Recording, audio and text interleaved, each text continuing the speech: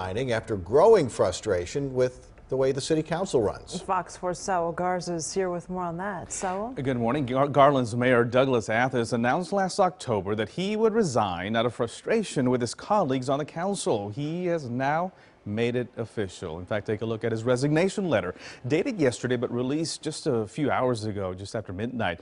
Uh, Athas writes that after five years serving as mayor, six years on the city council, it is with heartfelt emotions that I submit my letter of resignation, he says. He goes on to say that it is time to allow for new leadership and new ambitions to continue the progressive path of our city. Athas uh, first announced last October that he would step down in protest to the council's vote to tear down an old National Guard armory and replace it with a skate and dog park. He says there was little to no discussion or public input on the matter. He said it was a rush vote. So Athas said he lost faith in certain council members, saying they were not listening to their constituents. The vote to demolish the armory, by the way, was 6 to 3. The cost to taxpayers, $120,000.